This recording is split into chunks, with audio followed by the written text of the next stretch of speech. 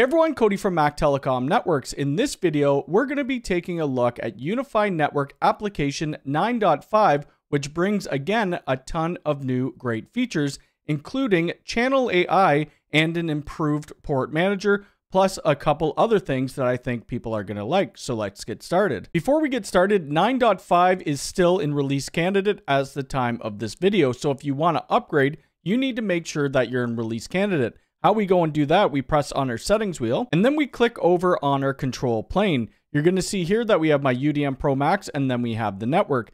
Clicking on the UDM Pro Max or on the network, it's going to bring up this side pane. And from here, we could switch over from when it's on official channel or if it's on release candidate or early access. So you'll want to go over to release candidate. The first new improvement that we're going to take a look at is the channel AI and your access points need to be at 8.2.3 or 6.7.29 or higher. And where we go to find that, we're going to want to click over on our radios. Clicking over on the radios, we're now on our air view. We could click on our radios. We could go to the environment and then we have this new section, which is our channel AI. This will show you all the access points within your UniFi network application. I only have two U7 Pro walls currently in this network application. Under our channel AI, we could see the 2.4, the 5, and the 6 gigahertz. And clicking the optimize button, it says using neighboring AP signals to optimize channel distribution, designed for controlled, very high density deployments where external interference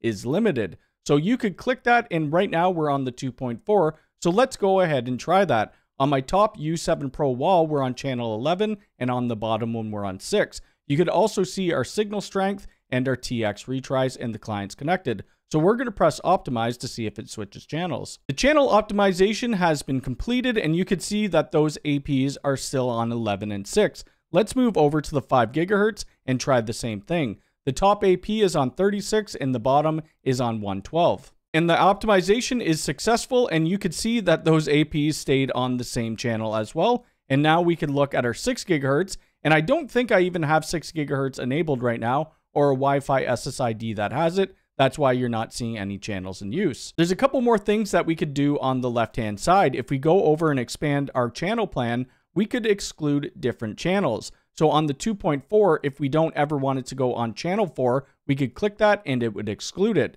Also, we have these different statistics. By default, it's going to show us our 24 hours, our TX retry, our average signal, and our clients.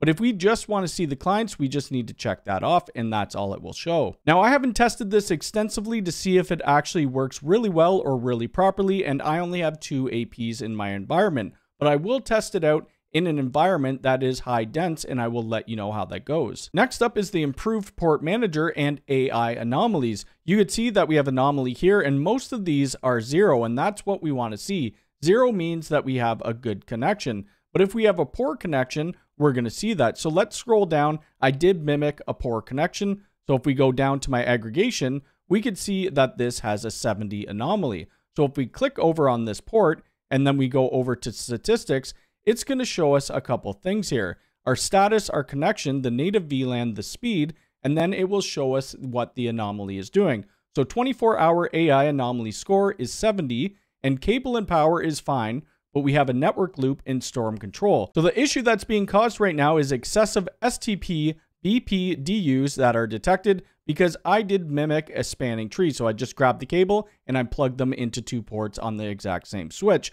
Other than that, I don't have any other anomalies. All my ports are good. The type of things that you'll see with the 24-hour AI anomalies is as followed. We're going to see cable and powers, we're going to see network loops and storm control, broadcast and discovery, as well as traffic path health. On the side panel, we're going to see other details, so port statistic at a glance, activity logs for anomaly events and admin changes, and MAC table displaying current connected devices. So this is going to be great if you have a massive network and you're having cable issues. We're going to be able to really drill into each port to see what's going on. With the port anomaly, we could also set up additional alarms. So I'm over in Alarm Manager and we're going to create a new alarm. Now under the monitoring, we now see that we have port anomalies. And if we click on that, we could select which devices that we want it for. Do we want it for all of our unified devices or do we want it just for specific devices?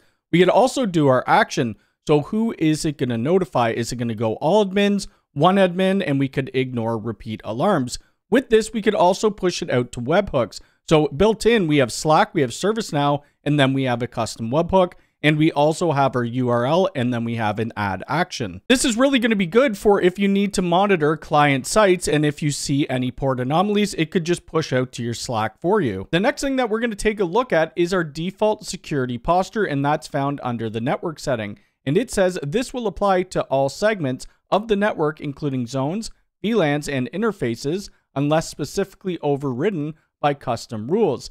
So usually when we had a Ubiquiti firewall right out of the box, it would allow all traffic. But now we could click on block all. So I'll go ahead and I'll click it. Change default security postures, new VLANs Ethernet port profiles, and devices will be isolated by default. Existing ones will stay unchanged. So if you're setting up a new network and you want it to block all and then put allow rules in, you can now finally do that. The last thing that we're going to take a look at for this update is under one of my Wi-Fi SSIDs and they have added back multicast and MDNS management. Controls how multicast DNS services announcements and discovery traffic are handled across VLANs and Wi-Fi networks. By default, this is going to turn it on auto and it enables the MDNS proxy caching for all VLANs with no service filtering applied. We could also do custom and then we could create new if we wanted. I think that Network Application 9.5 is a great new update. We have the channel AI and we have the improved port manager, which is going to tell us anomalies or AI anomalies with what is happening with our ports. Being able to do our security to block all right out of the box is going to make a lot of people happy as well. Let me know what you think about this new update in the comments below. If you liked this video, hit the thumbs up button. If you're new here, please subscribe and hit the bell icon. All right, thanks.